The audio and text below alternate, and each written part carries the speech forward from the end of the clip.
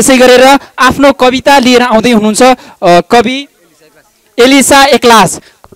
धन्यवाद। जोइन्ट भेन्चरलाई धेरै धेरै धन्यवाद। दिँदै कविता वाचन गर्न चाहन्छु। मेरो कविताको शीर्षक रहेको छ गोल्ड मेडल। अस्ति नै वयसका बेलामा बा सबेरे हलो जोत्न जानुहुन्थ्यो।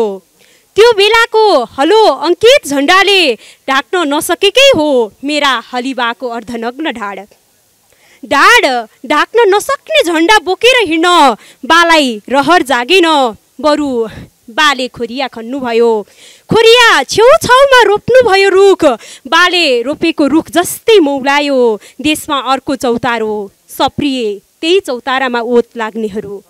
मैले आजसम्म सोधिनँ बा तपाईँ त्यही चौताराको ओत किन लाग्नु भएन भनेर। मैले आजसम्म सोधिनँ बा तपाईँ त्यही चौताराको ओत किन लाग्नु भएन? भनेर। को को को आएनन् हाम्रा घरमा? के के मात्रै भएन यो देशमा यो अवधिमा? टाउकामा राता पट्टी बाँध्नेहरूले हाम्रो घरको अँध्यारो देखेर उज्यालो आशा देखाउँदा बा छानाको पालबाट देखिएको जुन हेर्दै मुस्कुराउनु भएको थियो।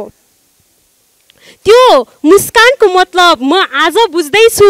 हथौडाले हानी हानी ठोकेको किरा जस्तो बलियो दुखी भाग्य हँसियाले सपक्क समाएर घाँस काटे जस्तो काट्न कसैले सक्ने छैनन् कोही आउने छैनन्।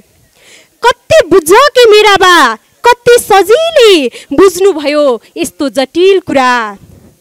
धेरै धेरै कुरा बुझेका मेरा बाले एउटै कुरा बुझ्नु भएन बुझ्नु भएन बाले। शिक्षामा पनि राजनीति हुन्छ शैक्षिक संस्थामा पनि नातावाद चल्छ कृपावाद चल्छ। त्यसैले त अनाज उब्जाउने मेरा बाले मलाई अक्षर उत्पादनमा लगाउनु भयो बाको खेती जस्तै सप्रिएको सर्टिफिकेट यी यहाँ छ सर। बाको खेती जस्तै सप्रिएको सर्टिफिकेट। यी यहाँ छ सर यो सर्टिफिकेटमा कुनै झन्डाको चिन्ह लुकेको छैन। पैसा तिरेर किनेको होइन मैले यो सर्टिफिकेटमा अङ्कित अङ्कहरू। सर धनभन्दा विद्या ठुलो।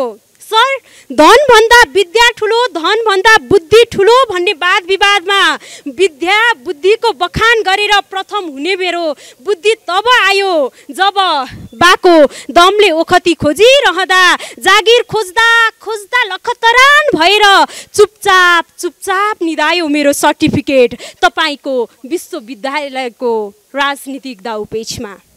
सर आज भोलि त म जागिर होइन। सर आज भोलि त म जागिर होइन। मेरो गोल्ड मेडल किन्ने मान्छे खोजिरहेको छु। के तपाईँले कसैलाई चिन्नुहुन्छ? धन्यवाद।